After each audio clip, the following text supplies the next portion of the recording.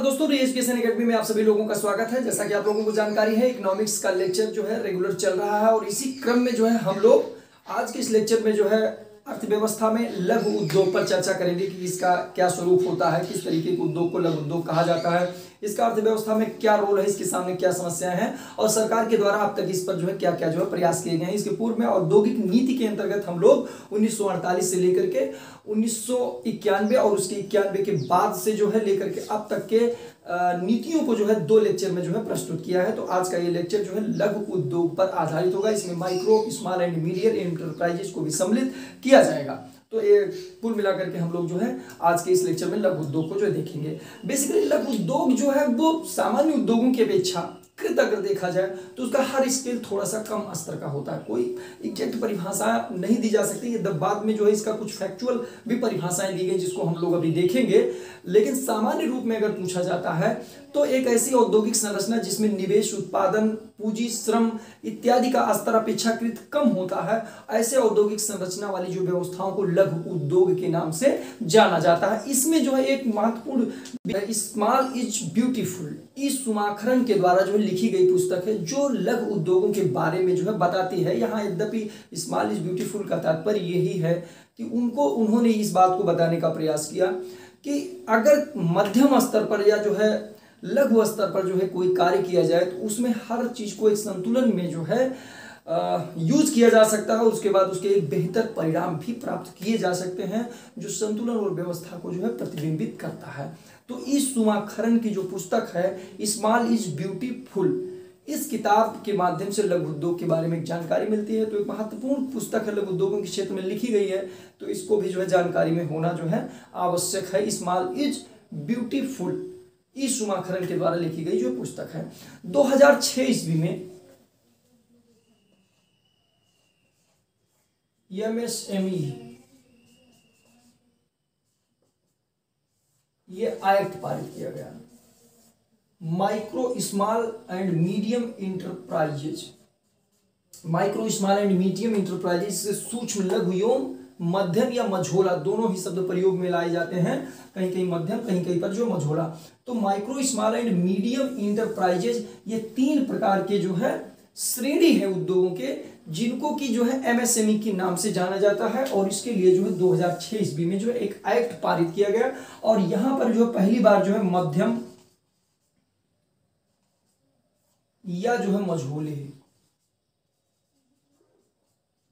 मध्यम या जो है मझोले उद्योग की जो है बात यहाँ पर स्वीकार की गई। मध्यम या मझोले प्रकार के जो है, उद्योग की एक श्रेणी है जिसको यहाँ पर दिया गया। और 2006 के एक्ट में यह भी बताया गया था, यहाँ जो तीन प्रकार से हैं, इन तीनों के लिए निवेश की अलग अलग सीमा निर्धारित की गई। और ये सीमाएँ जो है दो क्षेत्रों में, एक जो है विनिर्माण और दूसरा जो है वो सेवा। अब जैसे विनिर्माण की जो है निवेश सीमा अधिक बनाएगी सेवा की क्षेत्र, जैसे अगर माइक्रो की बात करें तो इसमें 25 था और यहाँ पर 10 लाख था। यानी कि 25 लाख तक जो है निवेश वाले विनिर्माण क्षेत्र के जो है उद्योगों को वो माइक्रो, यानी कि सूक्ष्म उद्योग कहा गया, वहीं पर सेवा क्षेत्र के लिए जो है उसकी लिमिट जो है दस बार बनाएगी क्योंकि सेवा क्षेत्र में जो है बहुत ज़्यादा जो है निवेश की आवश्यकता नहीं होती है, क्योंकि इसमें सर्विसेज़ दी जाती हैं और विनिर्माण में जो है ज़्यादातर मशीनरी संयंत्र और संरचनाओं की आवश्यकता होती है। इसलिए इसकी लिमिट को जो हमेशा बढ़ाया जाए, इनकी सेवा क्षेत्र में कम थी। हालाँकि हम ये सूक्ष्म के बारे में बात कर लिए, लेकिन सभी के बारे में बात करने की इसलिए आवश्यकता नहीं है, क्योंकि मई 2020 ईस्वी में, मई 2020 ईस्वी में जो है इसमें कुछ परिवर्तन किया गया और एमएसएमई के संदर्भ में उस परिवर्तन को देखना आवश्यक है, जिससे हम लघु उद्योग की व्यवस्था को जो समझ पाने में सफल होंगे, जो है।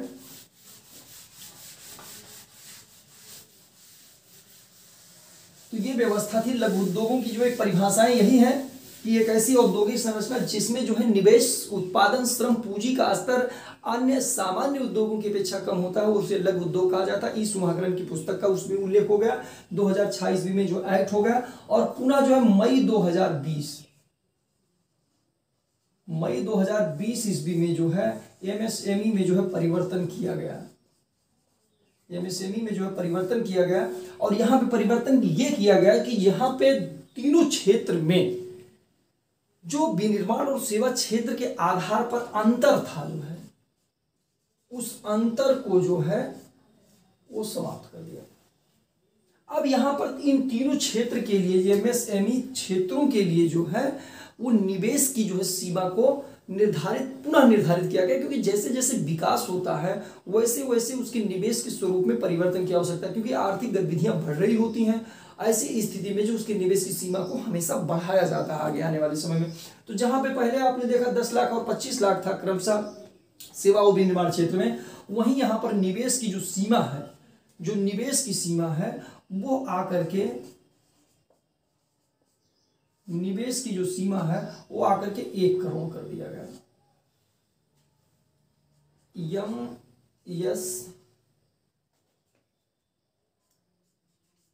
माइक्रो स्मॉल एंड मीडियम इन तीनों के लिए वहीं पर जो है यहाँ पे कर दिया गया दस। वहीं यहाँ पे कर दिया गया बीस। यानी कि एक करोड़ के निवेश वाली जो भी इकाइयाँ, औद्योगिक इकाइयाँ होंगी, अब वो जो है, वो सूक्ष्म क्षेत्र के रूप में मानी जाएँगी। पहले विनिर्माण क्षेत्र में अंतर था, लेकिन अब वो दोनों ही अंतर को जो समाप्त कर दिया है वहीं जो है स्मॉल उद्योगों के लिए बात की गई है, और ये उस स्मॉल उद्योगों की जो है जो लिमिट है, वो दस। ये जो है दस करोड़ के बीच में जो है बनाई गई। वहीं पर मीडियम के लिए जो है यानी कि मझोले या मध्यम जिसको कहा जाता है, जिसकी अवधारणा सबसे पहली बार कब प्रस्तुत किया गया? 2006 ईस्वी में। इसमें जो है 20 करोड़। अब ये देखिए कि तीनों को इसमें इससे 10 इससे इसमें 10 यानी कि तीनों में दस दस का जो है अंतर है। अब यहाँ पर जो है एक और बात कही गई निवे टर्नओवर यानी कि कारोबार। वार्षिक कारोबार की जो सीमा है वो बढ़ाया, उससे ज़्यादा होता है निवेश से ज़्यादा होता है क्योंकि निवेश जितनी की जाती है, हमेशा कारोबार उससे ज़्यादा होता है। यानी कि उसमें कितनी आ रही है, कितनी बाहर जा रही है कितना मंगाया जा रहा है, कितना बेचा जा रहा है, उस सारी की चीज़ों का जो आंकड़ा बेसिकली होता है, वो कारोबार कहलाता है, उस वित्तीय वर्ष के लिए एक निश्चित सीमा होती है उसकी वर्ष की। तो इन सभी में जो है, पाँच गुना बताया गया। पाँच और दस का अगर पाँच करेंगे गुना, ये जो है पचास हो जाएगा। और इसी तरीके से जो है, ये पाँच गुना करेंगे तो ये जो सौ हो जाएगा।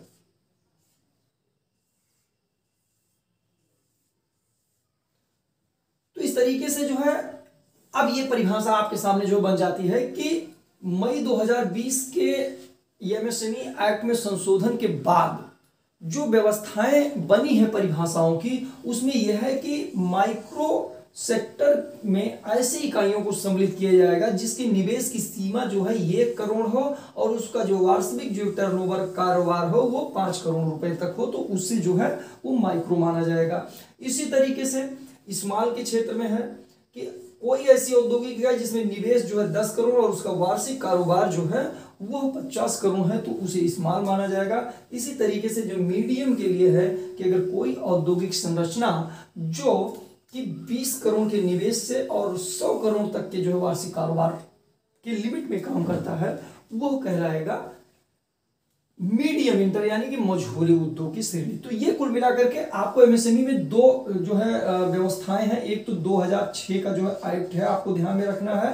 और दूसरा इसमें जो है, वो मई 2020 ईस्वी में जो परिवर्तन किया गया है, क्योंकि दोनों के बीच में सेवा और विनिर्माण का अंतर समाप्त कर दिया गया और निवेश तथा टर्नओवर के आधार पर उसकी परिभाषाएँ निश्चित और निर्धारित की गई। तो ये थी व्यवस्था कुछ लघु उद्योगों के क्षेत्र में। अब आपने जो है लघु उद्योगों को समझ लिया होगा कि किस तरीके के उद्योग हैं। इसमें वही अंतर के लिए जो है, सामान्य उद्योगों से इसमें निवेश, पूंजी, श्रम, उत्पादन, सारी चीज़ें जो है अपेक्षाकृत कम होती हैं। अब इसका जो है महत्व। एमएसएमई, यानी कि अब हम देखिए, एमएसएमई में तीन तो श्रेणियाँ बना दी गई, लेकिन इन सभी को जो है मिला करके लघु उद्योगों के रूप में हम लोग जो है पढ़ लेते हैं। कि लघु का मतलब यह हो गया कि सामान्य जो बड़े औद्योगिक घराने हैं, उस की अपेक्षाकृत कुछ छोटे औद्योगिक घराने। तो जब हम इकोनॉमी में जो उसके रोल उसके प्रॉब्लम्स इत्यादि को देखते हैं तो एक में करके देख लेते हैं। आप सब, उस तीनों की समस्याओं को अलग अलग करके नहीं देखा जा सकता क्योंकि तीनों में बहुत डिफरेंस नहीं है। लेकिन कुछ तकनीकी कारणों से हम लोग डिफरेंस को जो है देखते हैं कि जिससे उसकी परिभाषा बनाई जा सके। लेकिन जब हम समस्या, उसके योगदान इत्यादि को देखेंगे तो लघु उद्योग एक व्यापक जो है संदर्भ में उसको देख लेंगे। तो यहाँ पर जो है जब हम इकानमी में कोई बात करते हैं तो जीडीपी को जो ध्यान में रखा जाता है कि कोई भी जो एक्टिविटी है वो किस तरीके से जीडीपी में अपना महत्वपूर्ण योगदान दे रही है। तो जीडीपी में जो है इसका जो है कुल मिलाकर के जो है एमएसएमई क्षेत्र का जो आठ प्रतिशत रोल है, बहुत महत्वपूर्ण है क्योंकि इकोनॉमी में एक से दो परसेंट का भी बहुत मतलब हज़ारों लाखों करोड़ रुपए हो जाते हैं। तो आठ यहाँ पे परसेंट इसका जो रोल है, वहीं पर जो है निर्यात में जो है इसका एमएसएमई बहुत बड़ा, तीनों को मिला दिया जाएगा तो बहुत बड़ा क्षेत्र जो बन जाता है। चालीस परसेंट इसका जो है रोल निर्यात में हो जाता है। वहीं पर जो है औद्योगिक उत्पादन में अगर देखा जाए, औद्योगिक जो उत्पादन में देखा जाए तो औद्योगिक उत्पादन में इसका 45 प्रतिशत रोल है। तो जीडीपी में है, निर्यात में है, औद्योगिक उत्पादन में है। असमानता को कम करने में भी जो इसकी महत्वपूर्ण जो भूमिका होती है असमानता को जो है कम करने में इसकी महत्वपूर्ण भूमिका होती है। बेसिकली यह एक ऐसा सेक्टर है जहाँ पर कोई भी जो है औद्योगिक गतिविधियों को जो है कम निवेश पूंजी के माध्यम से शुरू कर सकता है। इसलिए जो है ये कहा जाता है कि केवल बड़े औद्योगिक घराने नहीं, बल्कि कोई भी जो है उद्यमी व्यक्ति जो है वो कम क्षमता, कम निवेश, कम श्रम, कम पूंजी के माध्यम से भी स्थापित कर सकता है और धीरे धीरे अपना विकास कर सकता है। तो इसलिए जो है देश के अलग अलग क्षेत्रों में अलग अलग जगहों, चाहे वो व्यक्ति के आधार पर हो, चाहे क्षेत्र के आधार पर कुछ ही लोगों और कुछ ही क्षेत्रों तक उद्योग स्थापित नहीं होंगे, बल्कि अन्य क्षेत्रों में भी होंगे और धीरे धीरे उनको कुछ सरकार सुविधाएँ भी देगी, प्रोत्साहन देगा। तो इसलिए वो असमानता को कम करेंगी और देश में जो है एक समानता की जो है अवधारणा पैदा होगी। तो असमानता को कम करने, शहरी पलायन को भी रोकेंगे। शहरी पलायन ये भी एक महत्वपूर्ण इकोनॉमी की समस्या है तो शहरी प्लानिंग को भी जो ये समाप्त करेंगे। क्योंकि जब लोगों को रोज़गार अपने आसपास के क्षेत्रों में मिल जाएगा तो वो शहर रोज़गार ढूँढने के लिए क्यों जाएँगे?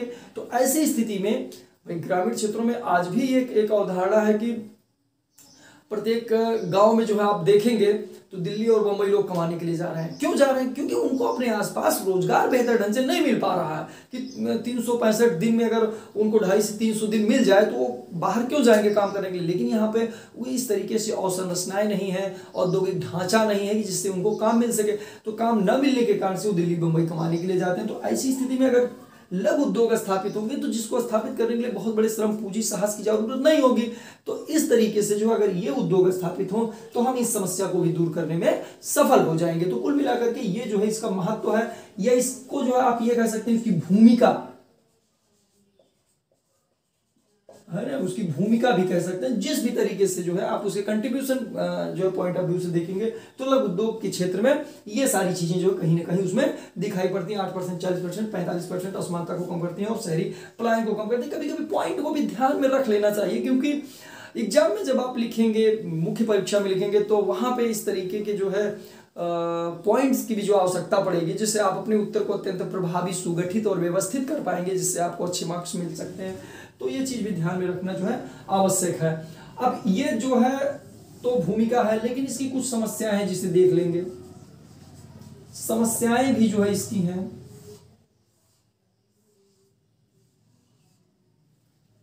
जैसे कच्चे माल की समस्या। कच्चे माल की समस्या है, विद्युत की समस्या है, पूंजी की समस्या है। परिवहन की समस्या है। जब परिवहन से जाएँगे, हम कहीं स्थान पर ले करके तब उसका जो है विपणन हो जाएगा। विपणन माने बिक्री, बेचना, और इसी तरीके से जो प्रतिस्पर्धा।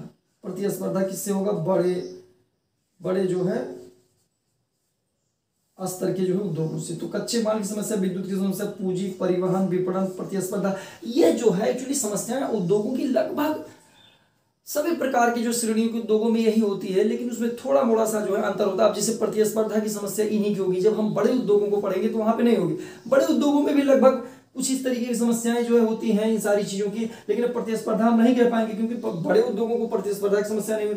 लेकिन वहाँ पर हम तालाबंदी, हड़ताल इत्यादि की भी समस्याएँ जो है उसमें एंट्री कर सकते हैं। तो थोड़ा मोड़ा परिवर्तन करके जो है एक बन जाता है। लेकिन औद्योगिक समस्याएँ जब पढ़ रहे हैं तो इस तरीके से जो है एक एक कॉन्सेप्ट होता है, जिसको हम लोग समझ लेते हैं तो इन्हीं चीज़ों को जो है एग्ज़ाम में लिखने में आपको जो मदद मिलता है। तो यही है कुछ चीज़ें जब बड़े सामान्य उद्योगों की प्रतिस्पर्धा नहीं होगा, लेकिन वहाँ पे हड़ताल वगैरह की समस्या हम लिख लेंगे तो वही बेसिक चीज़ें होती है कई बार जो है आपको परीक्षा में जो है, ये कूट भी लिखने को जो है आ जाता है, कूट मिलान के लिए आ जाता है और उसी में जो है, आपको जो है एक चीज़ें, दो चीज़ें जो है दूसरे उद्योग की दी जाएँगी, जिसको आपको निकालना रहेगा। तो ये कुल मिलाकर के इसकी जो समस्या है, जब लघु उद्योग हम पढ़ रहे हैं तो उसके सभी पक्षों और आयामों को देखेंगे, ताकि सभी पक्षों को जो है, आप तैयार कर सके। एक जो है होलिस्टिक आपकी जो तैयारी हो सके। तो ये प्रॉब्लम है। अब हम ये देखेंगे कि सरकार के द्वारा जो है, किस तरीके से जो है, अभी तक प्रयास किए गए हैं इस फ़ील्ड में। थोड़ा सा हम लोग जो है, उसे भी देख लेंगे।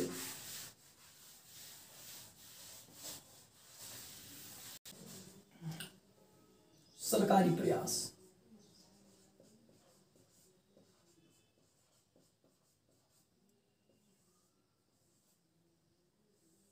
सरकारी प्रयास।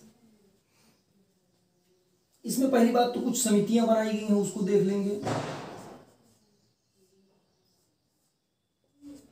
तीन को ध्यान में रखना है, नायर समिति। ये रूगड़ उद्योगों के लिए ध्यान में रखी। एक और चीज़ है, जब हम पिछले लेक्चर में जो है बात कर रहे थे, आप लोग उन्नीस सौ पचास ईस्वी में जो है तिवारी समिति बनी थी, जिसके रिकमेंडेशन के आधार पर सीका और बी आई एफ़ आर यानी कि सिक इंडस्ट्रीज़ सीका सिक इंडस्ट्रीज़ एक्ट जो पारित किया गया था। और board for industrial and financial reconstruction B I F R ये दोनों बनाए गए थे तो वो सामान्य उद्योगों के लिए जो है बनाया गया था।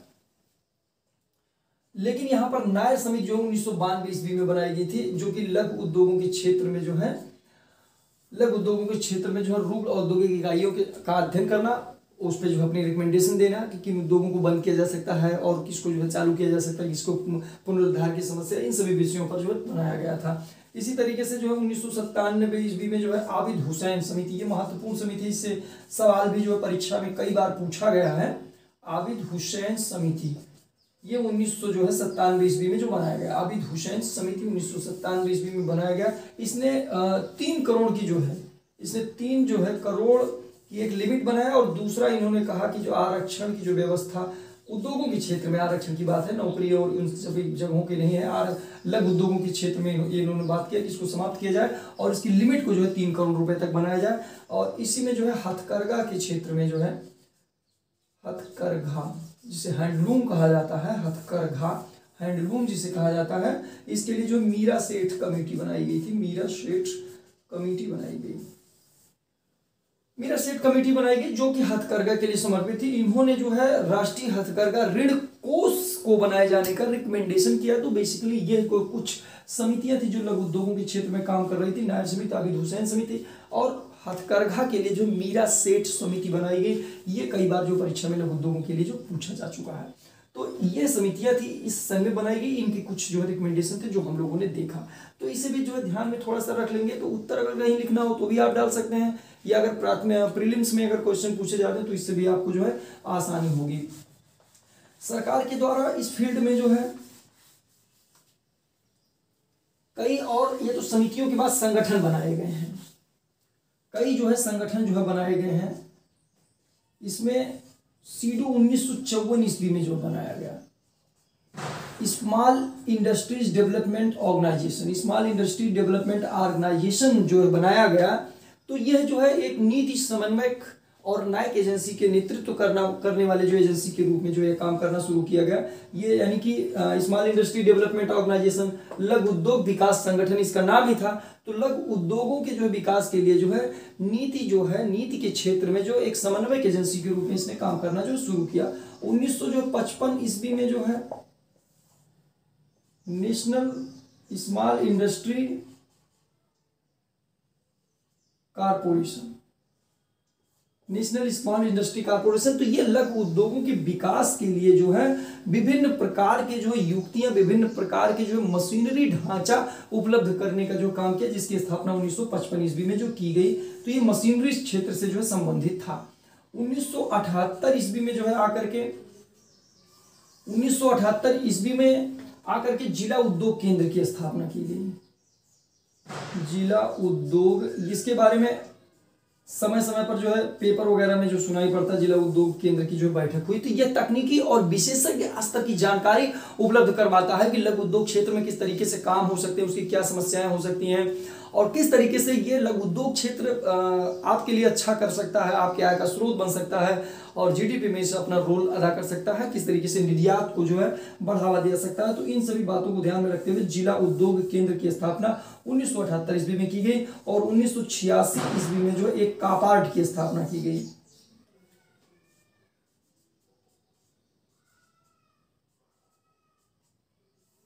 कापार्ट की स्थापना की गई उन्नीस सौ छियालीस ईस्वी में council for advancement of people action and rural technology इसकी स्थापना उन्नीस सौ छियासी ईस्वी में जो है की गई और यह मुख्य रूप से जो है कापार्ट का जो काम था, वो लघु उद्योग के क्षेत्र में जो जितनी भी टेक्नोलॉजी प्रयुक्त हो रही, उसमें समन्वय का काम करती थी और जो स्वैच्छिक संगठन थे, उसको जो है आर्थिक सहायता देने।